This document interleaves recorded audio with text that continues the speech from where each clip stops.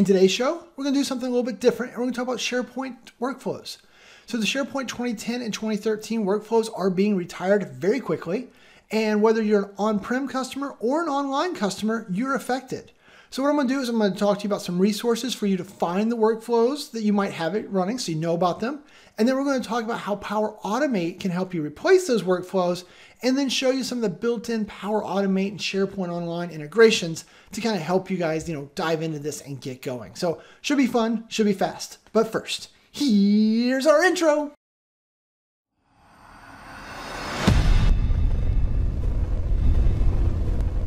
Hi, my name is Shane Young with Power Apps 911. Those guys. And today we're going to talk about SharePoint workflows, which is kind of weird and different for me, but you know, here's my little SharePoint monkey. I got him out. You know, I've spoken at most of every SharePoint conference there's ever been. I've written six books on SharePoint. I feel like I'm pretty well versed to talk about this.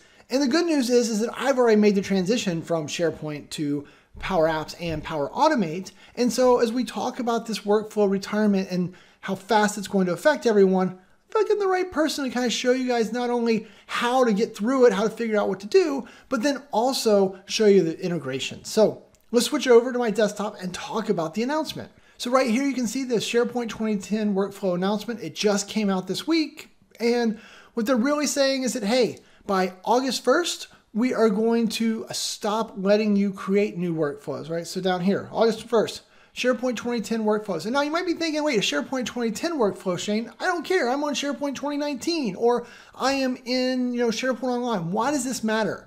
Well, for most of us, a lot of the workflows that you guys are building with tools, especially like SharePoint Designer, some of the out-of-the-box workflows, they are built off of the SharePoint 2010 workflow engine.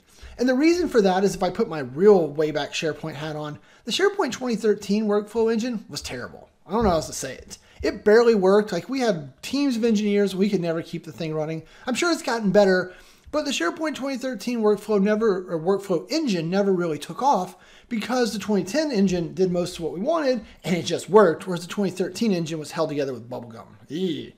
So to that end, though, no matter what in SharePoint environment you have, you most likely have SharePoint 2010 workflows. And so you need to know that in the case of online, August 1st, you can't create any new ones, or there won't be any new tenants, I should say. And then November 1st, they're going to turn it off. Like, engine off, you can't, they don't work anymore. Uh oh, what did I do? I think people are going to really freak out on November 2nd when they all, all realize their workflows are gone and they didn't plan for this. So I'm helping you plan for this.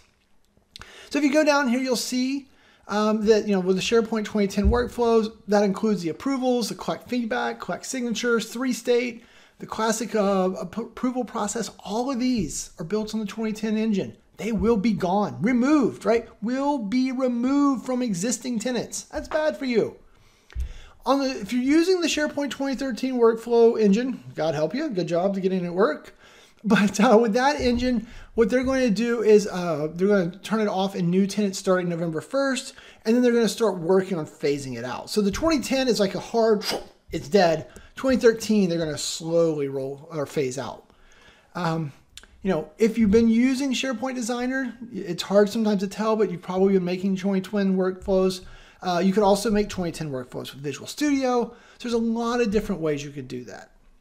So, so this is the first thing I need you to know. Microsoft announced that this stuff is going away really fast, right? November is not far from now. So what I want to help you with then is how do you find out if you have any of these? So the first case is if you are online, my old dear friend Todd, right? Todd and I have done more SharePoint stuff together than I care to remember.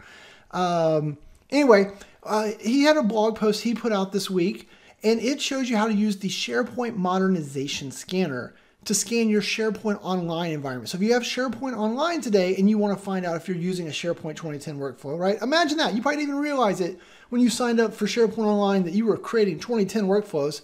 So go run the scanner and find out if you've got any of these workflows because you need to account for them.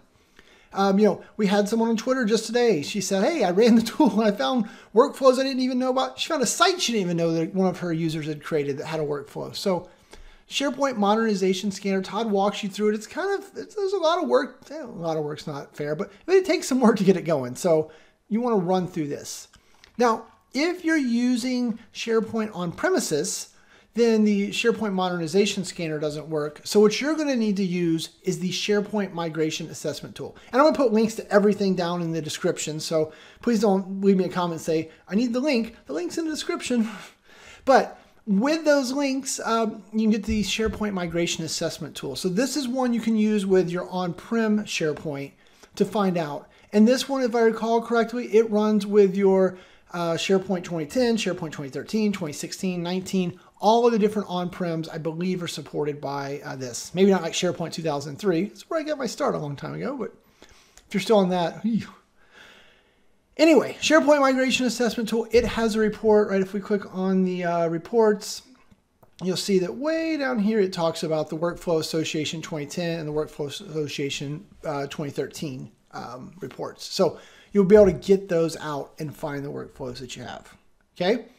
The other option you have, I don't have a handy link for this, but uh, the PNP, the Patterns and Practices PowerShell, also, with a little bit of, you know, work, you could write your own PowerShell scripts to kind of go and do some of this inter inter interrogation. Hard for me to say. Uh, but so that would also give you another way to go find these if you want to write your kind of own solution. But hopefully this one of these tools spits out the report you need and that's enough. Because I know that some of our customers we've talked to already, they've got hundreds of these workflows. And the bad news here is that there's not a magic bullet there is not a way for you guys just to be like, oh, take the SharePoint 2010 workflow and convert it to a Power Automate workflow. There's there's there's not that button today. And I don't think that button will ever exist. So what we're going to have to do is we need to understand the ways that Power Automate integrates with SharePoint Online and then talk about it. And so to that end, let's switch over here to my SharePoint Online site and let's talk a little here. Now keep in mind, this is SharePoint Online. Power Automate does not integrate with SharePoint on premises, but uh, you can have Power Automate and Power Apps? My, my favorite child.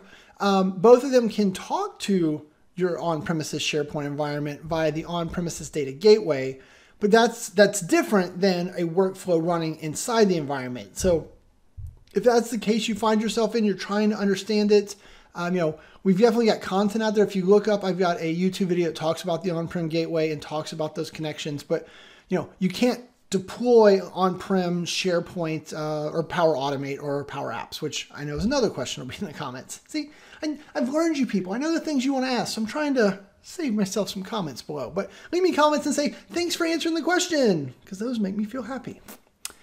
Um, anyway, so over here in my SharePoint Online environment, let's talk a little bit about the native things that are already built in here. Maybe you've already noticed some of them.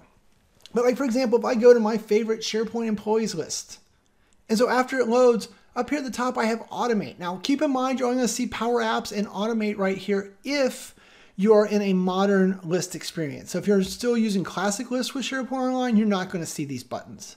But I'm in a modern list, so if I hit the drop down, and so you're going to see different things here depending on the context. So for example, this particular list has a date, hire date. So there's an automatically built-in flow here called set a reminder for hire date. And if we click on that, what this will actually do is this is going to build us a flow and deploy it for me. It's going to do everything, right? So unlike our friend SharePoint Designer, it's just going to build me a flow. So we say continue. Oh, I want to call this get an email reminder. We'll call it video just so we know which one. And how about a reminder? Give me something three days in advance of that date column. And so you say create, and now it's going to go and provision that for us in Flow. And the easiest way to get to that, hit the drop down, Power Automate, see your flows. This will open a new browser tab, take me over here, and look, it made a flow. Why I love this so much is if we hit edit, this is a fully functional flow right now, right? It's going to run, it's going to do its thing. But I can customize it because right now it checks every day at 3 o'clock in the afternoon. But if I want to have it check every hour, every minute, every week, every month, it doesn't matter. I can modify all this. Be like, oh, no big deal. Let's just edit this thing. Edit. And how about this? Instead of every day, let's have it run once a week. So it runs at 3 o'clock every week now. So I, I turn down how often it runs. Then you can see it gets some data. It does some date calculations. Well, so that's the 3 it's going to get my profile and then it jumps in here and then it's taking the number of days that I had. Um, so in that case, the three, and then computing it in a formula to find out what is today plus three. And then it goes and gets the SharePoint list, it gets the items, And then basically, if they meet the conditions, then it goes and sends a reminder email, right? Whoa. I don't know. I mean, I'm not here to break down everything it, it does for you, but the reason I want you to see this is because it's all here. So if you don't like the way they do it, maybe you want to post to a Teams channel instead of sending an email. Hmm, be nice, much nicer in my book. Then you could come in here and modify this flow. It's all sitting here for you. And don't worry, in a minute I'm going to talk about how to learn to modify these flows. If you're like, oh, cool, I want to do that. How do I do that? We'll talk about that in a minute. Let's, let's get through the, the cool stuff first, though. So that's there. Also up here, you might have noticed that Power Automate. So create a flow would just start us the process of building our own flow. Meh, boring. Configure flows so it looks like approvals have been turned on in this list already. And so they select the approval mode for this library. And so it has this uh, request sign off approval already turned on and built in. So if you hit cancel, you hit the drop down, I don't see it. That's a little confusing. But if you click on this, or one of the items, now when you hit the drop down, you see request sign off. And what's neat about request sign off is it takes inputs because we can do that with flows. We can provide information before it runs. And so I can choose, hey, I want to have Chewy, my dog, be the approver, right? He always approves my work or sign off my work. And so then it would fire off and send Chewy an approval and it would go through. And then it just went ahead and if we hit refresh here, because there's a little UI bug, if we go over here and it automatically created a column called sign off status and it would show me the status if Chewy, uh, you know, if it was pending, if he approved it or rejected it. So I get that. But if you're like, ew, I don't really want that. I want proper SharePoint approvals. I'm a SharePoint person. Cool. Then just go back over here, configure your flows, turn on content approval. If you hit save here, what it's going to do is it's going to turn on list approvals, the same approvals that you've been using forever, but it doesn't build you a flow, but you can go and build your own flow that walks someone through an approval process. So you'd have a flow set every time a new item gets created, then go ask this person or that person, do this stuff, and then at the end of it, if it's approved, update the SharePoint approval status. So that way you can continue to use the SharePoint approvals you always have. So pretty cool. So that's a couple. Another built-in thing that I just found the other day, I'll be honest, there is also a whole separate one over here for the page process. So the page publishing process.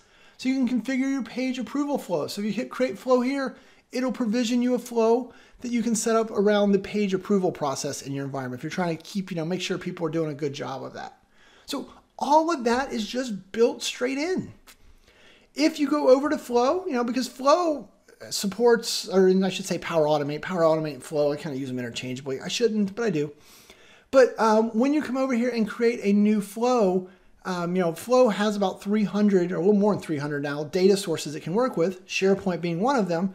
And so there's a bunch of SharePoint triggers, which are things that say, you know, when a new item in SharePoint gets created, when a SharePoint item gets modified, when a SharePoint site requests to join a hub site, right? All these different triggers around Flow uh, for SharePoint, or there are a bunch of actions. Here, let's just let's just build a quick one real quick and show you. So for example, we'll go here. I'm just going to skip this. So triggers are what make flows start. So if we type in SharePoint or click on SharePoint, look at all these different triggers items created, modified, when item is deleted, when content gets changed in a folder, when an item gets selected. So I use this one to upload files. All this fun stuff, pretty cool. Then there's a whole bunch of actions. There's, I don't know, 25, 30, 40 of these. I don't know, I should count them one day. But so these are things like copying files, creating files, updating content, editing content, deleting content, getting content. What's really neat also in here is if you're really advanced, and you want to go use the uh, SharePoint REST API, you can send an HTTP request to SharePoint. So anything you can do with the REST API, which is anything, you can have and do that right here from a flow. Really awesome. So, you know, there's a fun stuff here. Also, if you go over to the left here and click on templates, we'll leave this page and just type in SharePoint up here. And so there are, I don't know, probably a hundred different SharePoint templates already sitting here. Once again, just so much cooler. And so this is your big advantage is if you're going to have to get rid of your SharePoint 2010 workflows and start rebuilding them, don't just rebuild them one for one. Look at the new functionality. You know, we can interface with chatbots. We can interface with artificial intelligence. We can do, uh, you know, just hundreds and hundreds, thousands, millions, gazillions of things all against the SharePoint platform, all via Power Automate. So if you're excited, you're like, hey, cool, I want to, I want to go learn this, or maybe you don't want to learn it, but you have to learn it because you things are getting turned off in SharePoint Online, you know, real soon. Then I got a couple of different options for you. So the first one I will offer you is if you go out here to training.powerapps911.com, there is a free class, totally free, yay, free, that will be an introduction to both Power Apps and Power Automate. So that one will get you up to speed. So you would understand what is possible, build your first app, build your first uh, flow with an approval, you know, just kind of get you going. And then if you're like, cool, I dig that, or maybe you already know all the intro stuff, then I just finished this new course around Power Apps and Power Automate for SharePoint. It is seven hours of nothing but SharePoint goodness using Power Apps, Power Automate. There's some Power BI, there's some Teams, there's some um, OneDrive, there's creating PDFs, there's approvals, there's importing files. There is just everything in there. And so, you know, it's a pretty nice little course that kind of gets you going in a real fast way. Um, so there's that. Or you can, of course, jump over to YouTube and just type in Power Apps and SharePoint and see what the YouTube videos are, right? Totally, you know, I mean, you're watching YouTube now, so you probably like learning via YouTube. There's hundreds, thousands, millions of videos out there to do that as well. All of these things just to kind of get you guys going and be like, cool, because this is the future, right? You know, and we talked about the Power Automate. We're not even going to get into the Power App side, but we use that in replacement of InfoPath. We use it to build custom apps. We use it to customize our SharePoint experience. There's so much you can do with the Power Platform. So with that, I think I'm just going to say, you know, if you have any questions, leave me notes down below. Leave me comments. I always respond to them. It sometimes take me a week to respond, but I always respond. Um, but you know, hopefully this kind of gets you guys A, aware of the announcement, B, how to find your stuff, and then C, ways to learn if you decide that you should probably solve this problem instead of getting a different job. So with that, I'm gonna say thanks and have a great day. Hey, it's me again. If you got a second, click the subscribe button. That always keeps me making more videos. Or if you want to work together, need some help getting your Power Apps going, hit me up at Power Apps 911. Always happy to work together. Or finally, if you're really just looking for more videos, that's probably what it is. Check out the Power Apps playlist over here and, you know, enjoy that. All right, thanks and have a great day.